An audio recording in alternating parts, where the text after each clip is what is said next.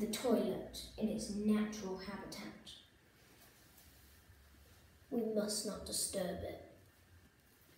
Did you know that 90% of the people in Afghanistan have a TV, but only 7% have a flush toilet? This toilet is very vicious. Hopefully, it doesn't eat me, because that won't be good.